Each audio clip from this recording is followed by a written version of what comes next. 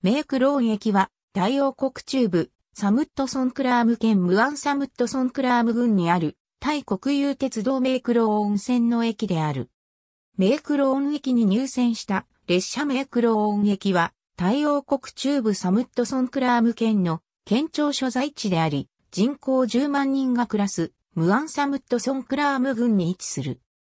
当駅の駅名になっているメイクローン川は当駅のすぐ西側にある。このメイクローン川は映画戦場にかける橋で有名になった空営川の下流に当たる。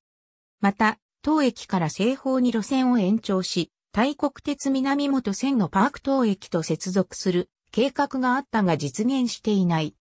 SRT ダークレッドラインも参照1907年7月12日に民営メイクローン鉄道としてバンレーム駅、メイクローン駅が開業し、約1年後の1908年10月6日にターチーン鉄道を吸収合併した。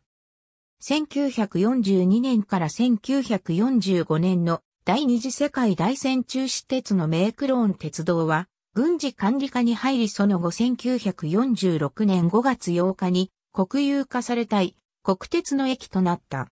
片面ホーム一面一線の地上駅。ホームと着発線を覆うワヤが設けられている。メークローン線西側区間は全線一閉塞で一列車のみが往復する運行形態となっており、2000年代以降、両州単駅構内を含め側線はすべて撤去されている。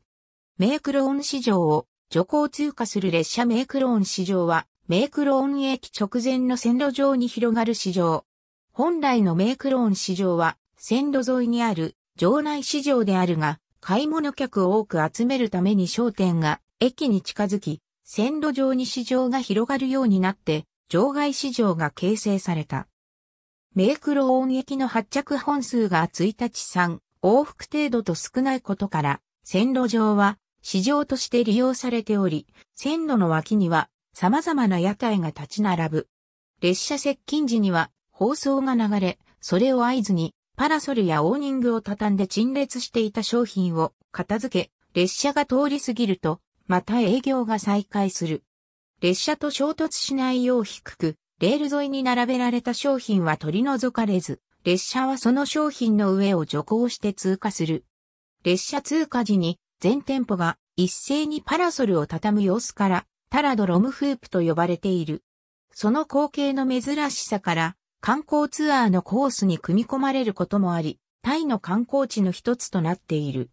王国の鉄路タイ鉄道の歴史 P223 から225王国の鉄路タイ鉄道の歴史 P47 王国の鉄路タイ鉄道の歴史 P222 ありがとうございます。